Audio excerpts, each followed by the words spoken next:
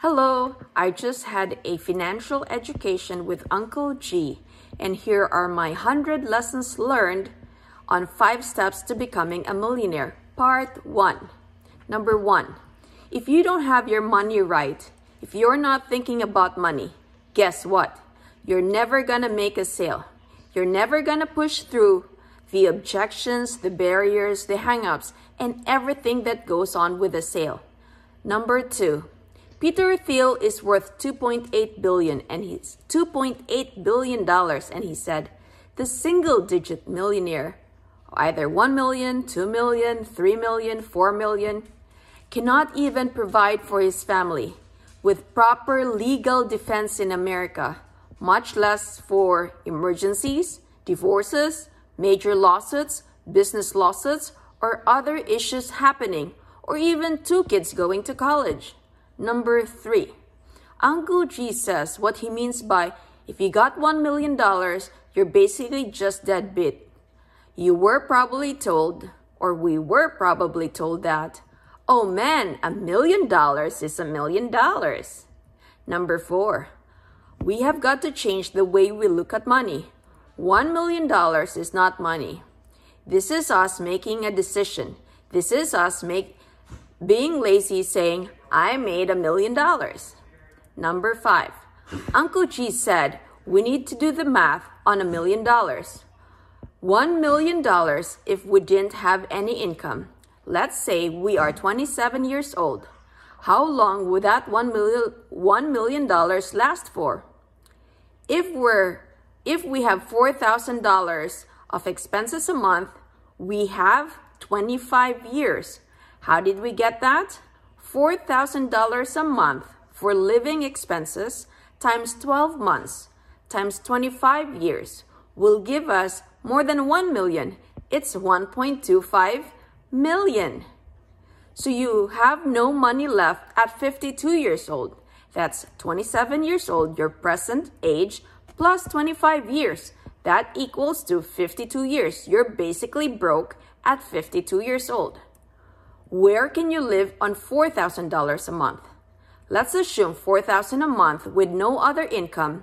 We cannot rely on Social Security. We cannot rely on Medicare because they're all broken.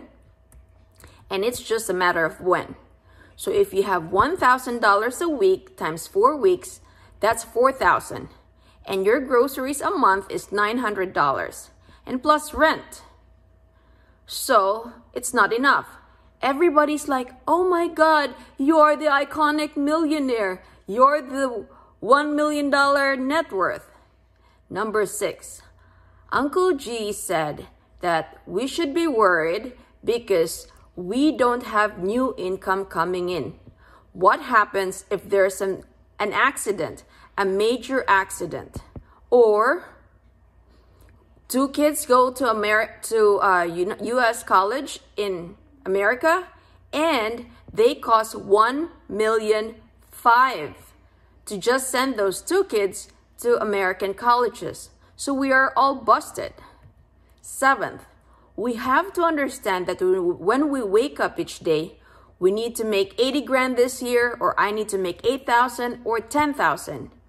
Eighth, we need to change how we think about money. Number nine, that's 4,000 per month if we have 1 million doesn't doesn't assume inflation.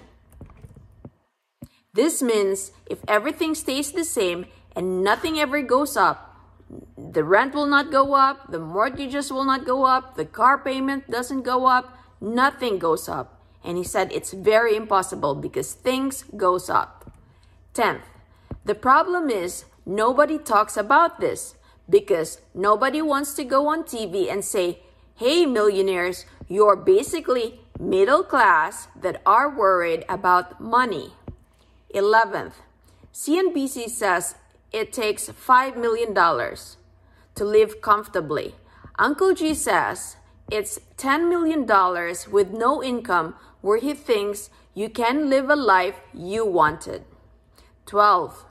To get to $1 million, either you have to make 40,000 per year for the next 25 years or you make 80,000 per year for the next 12 and a half years, or you make 160,000 a year for the next 6 years, or you make 1 million in 1 year.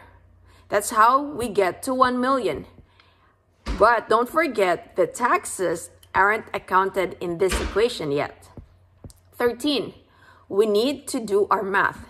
We need to get our target right. 14. Majority of us, including me, we are going for the wrong target. He says, Oh man, I love this new car. You're gonna buy a new car like this. Look, we'll go back and we get a new car. And when our attention, we need to have our attention on the target. Number 15.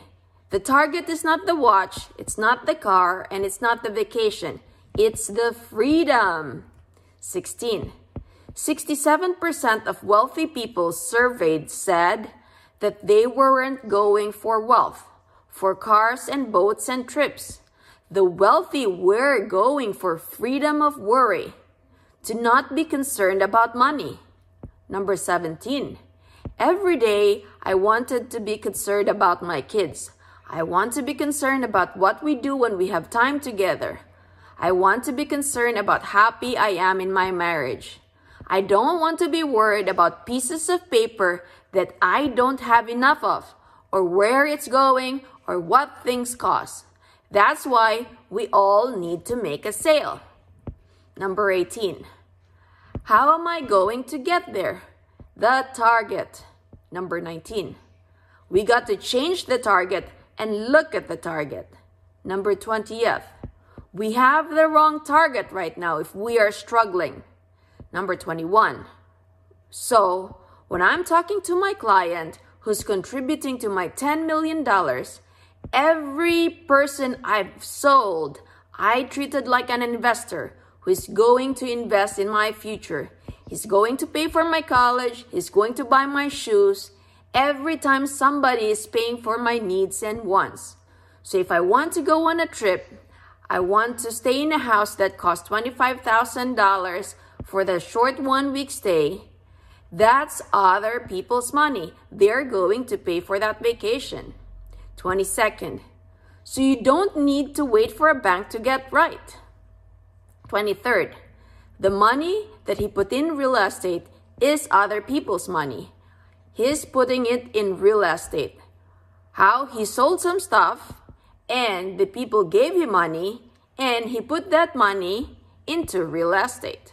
24th, we need to get our income to a place, a place where it does not pay for our bills, but a place where we can save 40% of our gross income. 25th, this 40% is more difficult than the 10 million target.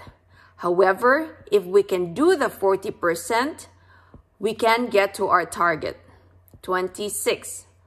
So when we sit down and when we do the math, what would it take for us to save 40% of our income? 27. If we make 10,000 a month and we want to save 40% of it, which is 4,000, we pay ourselves first. That's called storing or stockpiling and the government, the IRS, wants 40% or 4,000. So we now have to live in 2,000. 2,000. So we need to figure out how to pay ourselves 4 grand. Now he asks, what's the problem here? We've got to live on 2,000. 2,000. It makes our lives hard on 2,000 of living expense. So just keep doing the math this math you need to do with your spouse. You need to keep working on it until you're like, here, let's go buy a new car. And your spouse would say, hey, we can't buy that car. We got, we ain't got no money. 28th, money is only good if you use it. 29, we have heard this many times. Cash is king. However, cash is not king. It just sits there and dies, or you lose it, or if you leave money in the storage for a long, long period of time, he guarantees it that it will disappear. You don't want to leave it in storage for too long because it's going to be zero. All cash goes to zero it because of deflation. 30th, how much money do we actually need? So this is his example. Let's say it's 20,000 grand per month and so 40% of that is 8,000. We store that, we stockpile it, and 40% of it is the government. So that's 8,000 for the taxes. So we're left with 4,000 to live off. Now, let's say if we have a salary of 30,000 per month, 40% of that goes for storage, which is equivalent to 12,000 and 40% of that is the government, the IRS. So that's 12,000 out. And so you're left with 6,000 to live on. So now we can start seeing that we got to be north of 300,000 or 360,000 per year. 360,000 north. So that's 12,000 in storage per month times 12 months times 10 years equals 1.4 million. Now you're a millionaire stored. 31st lesson. You need to work on where's our money. 32. What's our driver here? 33. We need to be heavily money motivated from a survival standpoint. Survival standpoint. 34th. We are going to be broke because we need to invest that stored money. The storage has got to be invested. 35. The golden goose is only good if it lays eggs, if she lays eggs. Otherwise, we can kill the goose, eat her for her chicken meat or goose meat. We need money to make babies. 36. So our goal is to invest the storage money and to continue to do that until that pa passive money from our investment is equal or greater than our income. 37. This will be a tough game. It is a tough game. 38. When we make this move of storage money to investing the money, we should not invest it in anything that is amazing. 39. We can't risk this investment money. 40th. Warren Buffett says, don't lose money. That's number one. What's number two? Don't lose money. And Uncle G says, what's rule number three? Don't lose money. 41. So what can we invest in? 42 lesson. We can't leave it in the bank because that's losing money. The bank don't pay us anything. It takes 833 years to double our money at the bank today. 833 years to double our money at today's bank rates. 43rd. So if we don't know this, we need to start looking at this and say, what am I doing with my money? 44th. We need to confront the beast. 45. Our target should be my passive income exceeds my monthly income. 46. We just need to do the math. How much money would we need invested? 47th.